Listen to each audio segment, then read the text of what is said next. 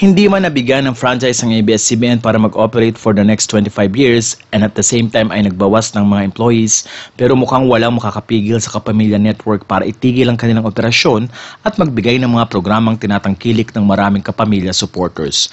Matatandaan kahit sa digital platform ay number one pa rin ang ABS-CBN at hindi pa rin natatalo ng ibang network kahit hindi na umeere sa free TV ang kanilang mga programa pati na rin sa radyo. No one can beat them, ika nga. Kaya naman marami din ang natutuwa dahil may mga bulong-bulungan na maraming planong bilhin ng ABS-CBN ang Zoe TV o Channel 11. Ito ay para maipalabas ulit ng ABS-CBN ang kanilang mga programa sa Free TV. Mabilis nga ang panahon na tatlong buwan na ang hindi napapanood ng kanilang palabas sa Free TV pero sa digital platform ay buhay na buhay ang presensya nila. Kaya naman umaasa ang mga kapamilya followers na matutuloy ang pagbili sa Zoe TV at magiging mas malakas ang pagbabalik ng ABS-CBN sa Channel 11 kahit hindi na maibalik ang franchise sa kanseladong Channel 2 ng network. Matatanda ang GMA Network ang unang gumamit sa Channel 11 ng maraming taon at binitiwan kalaunan. Mukhang ito na nga ang hinihintay na big comeback ng ABS-CBN. Ayon sa mga netizens at supporters ng ABS-CBN, kahit anong gawin ng mga magpasara sa network ay marami pa ring paraan para maituloy ang nasimulan ng ABS na ipalabas ang marami nilang programa, hindi lang sa Pilipinas kundi worldwide.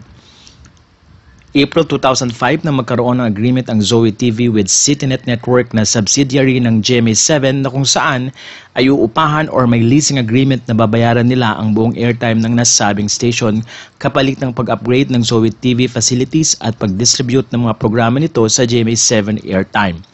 September 1, 2005 nang huminto na sa pag-ere ang Channel 11 nang simulan nang ma-install at mag-upgrade ng transmitter at studio ang Zoe TV.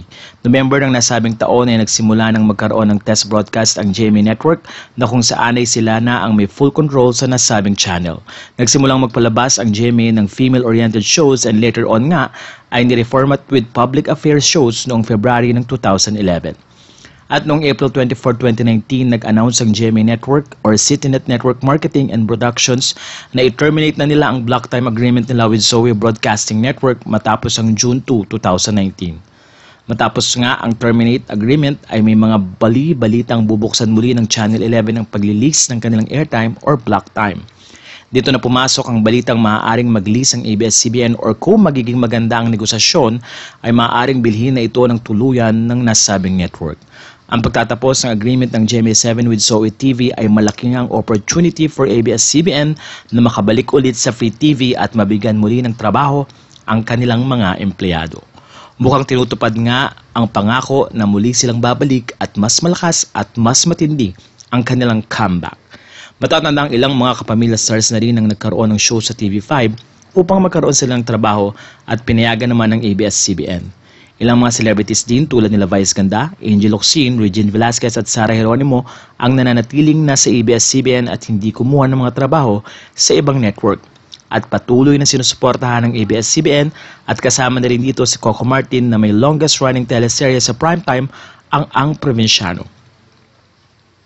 Waiting patiently will definitely pay off, kaya naman naghihintay lang ang mga kapamilya sa pagbabalik ng kanilang network and at the same time ay namamayagpag pa ng kanilang presensya sa digital arena.